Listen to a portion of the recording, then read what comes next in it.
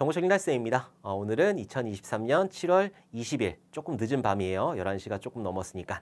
저는 오늘 유튜브에 올릴 것들 자료 정리하고 영상도 촬영하고 편집해가지고 업로드를 하고 있어요. 그래서 지금 마지막 영상 업로드가 되고 있는데 아마 다 올라가면 12시가 조금 넘지 않을까 싶어요. 제가 이렇게 영상을 촬영하는 이유는 내일 모레가 여러분들 시험이란 말이에요. 지금 제가 촬영하고 있는 날짜 20일 기준으로 해가지고 내일 모레가 시험이고 여러분들이 이 영상을 보실 때는 아마 21일 날 보실 거예요. 그럼 내일 되는 거예요. 그래서 어, 내일 모레 시험 잘 보시라고 이렇게 응원차 이렇게 짜란나고 나타났어요. 원래 지난 1회 시험 같은 경우에는 이것도 공부하시고 저것도 공부하시고 그것도 공부하시고 이렇게 하셔라 라고 설명을 드렸는데 여러분들 어련히 알아서 잘하셨을까 그렇게 생각하고 음, 이번에는 준비물이라든지 이런 것들만 조금 정리를 하고 그리고 마치도록 할게요. 공부할 시간도 없으니까. 자 그러면은 준비물 어떤 것들 준비해야 되느냐 신분증하고 수험표. 수험표는 사실 할 준비 안 하셔도 돼요. 그래도 혹시라도 어, 집에 프린트 있다 그러면은 출력해 가시면 되는 거고 신분증 없으면은 퇴실이에요. 그래서 내가 지금까지 열심히 공부를 했고 그리고 내가 일부러 시험장까지 갔는데 신분증이 없다? 너무너무 억울하잖아요. 그리고 내가 나중에 시험 문제를 딱 봤는데 내가 다 아는 문제야. 그러면은 정말 억울해 죽는 거니까는 신분증 꼭 챙겨 주셔야 돼요. 자, 필기구는 뭐 말할 것도 없죠.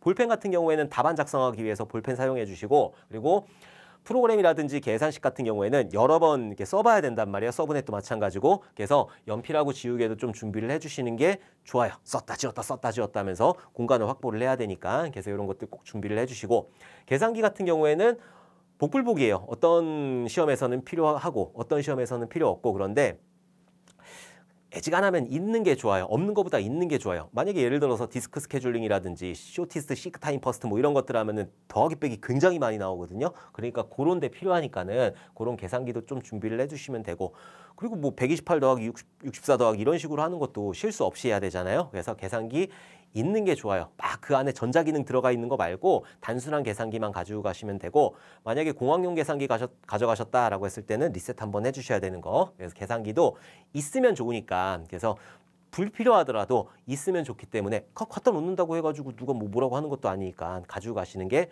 좋다. 자, 그리고 시험 전에 이제 시험 보러 가서 정리해서 그 봐야 되잖아요. 30분 전에 입실이니까는 30분 동안 어 이러고 있지 마시고 남은 것들 정리를 해 두셨으면 좋겠어요. 뭔가 지금 그 이번 시험에서 필요한 것들 그러니까 내가 시험장에서 나가면서 머리에 싹 지워야 되는 것들 있잖아요 UML이라든지 디자인 패턴이라든지 그런 것들 그런 것들을 좀 정리해 가지고 여러분들이 시험장에서만 보시는 게 좋고 그리고 다른 것들 정리 많이 하셨을 거란 말이에요. 뭐 객체 지향 설계 원칙, 오 이거 나올 것 같아. SOLID 이런 것들도 있고, 자 그리고 트랜잭션의 특징이라든지 이런 것들 나올 수 있으니까 그런 것들 좀 정리해 주시고 결합도 응집도 이런 것들 이런 것들 여러분들 시험에 나올 수 있으니까 꼭 정리를 해두셨으면 좋겠어요. 시험 전에 정리한 것들 가지고 가셔가지고 30분 남은 30분 동안 조금만 조금만 열심히 집중해가지고 봐주셨으면 좋겠습니다. 오케이.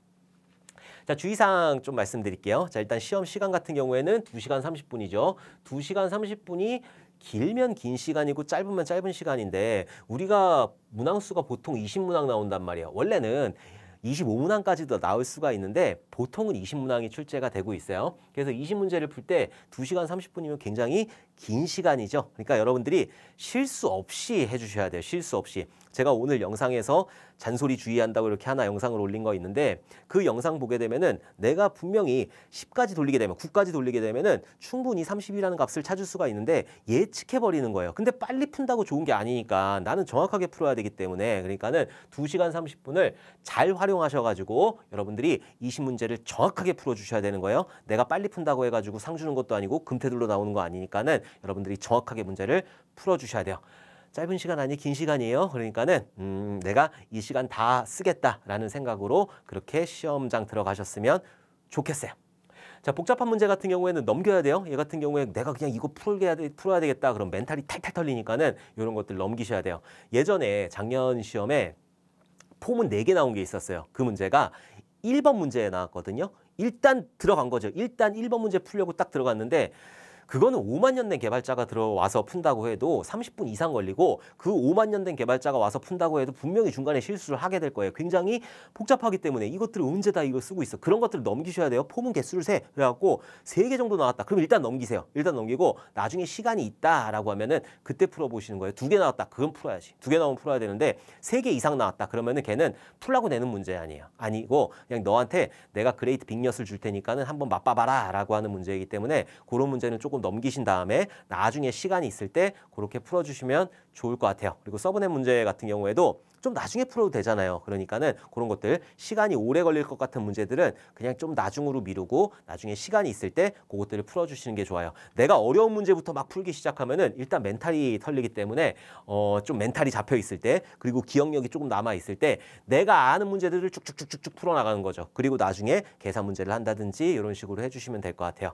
계산 문제 같은 경우에는 익숙해졌단 말이에요. 내가 지금 시험장 가서 방금 본 개념이 아니라 이미 익숙해진 개념이기 때문에 요거는 조금 나중에 푼다고 하더라도 기억이 나, 나게 될 거예요. 그래서 그런 복잡한 문제는 조금 넘겨주셨으면 좋겠어요. 그리고 프로그램, 계산식, 데이터베이스 문제 이런 문제들 같은 경우에는 그런 예, 좀 복잡한 문제가 되는 거니까 조금 넘기시면 되고 답안을 마지막으로 기억을 해두셔야 되는 거죠. 답안 기억해가지고 어, 저희 카페나 아니면 유튜브에다가 올려주시면은 제가 빠르게 빠르게 복원해서 토요일 날 촬영을 하도록 할게요. 총평이나 총평 관련돼 가지고 촬영을 하도록 하겠습니다. 그러니까 답안 꼭 좀 기억해 주셔가지고 와주셨으면 좋겠어요. 저도 실기 시험을 보고 싶은데 필기까지는 어떻게 볼 수가 있거든요. 근데 실기 시험은 응시 자체를 할 수가 없어가지고 여러분들의 도움을 절실하게 필요로 합니다. 그래서 답안을 꼭 좀 복원 좀 해주셨으면 좋겠어요. 자, 그동안 수고 많으셨어요. 어, 그동안 뭐 2회 시험 대비해가지고 굉장히 많은 음, 그 공부를 하셨을 텐데 정말 너무너무 수고 많으셨고 1회에도 합격률이 굉장히 저조했죠. 그러니까 1회에서부터 준비하신 분들, 작년서부터 준비하신 분들 분명히 많으실 텐데 음, 그동안 너무너무 수고 많으셨어요.